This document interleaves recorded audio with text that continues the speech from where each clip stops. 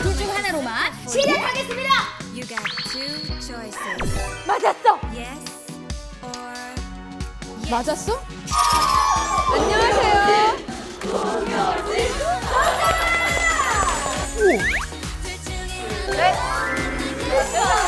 그만 연습하시고요. 저희 진짜 실패.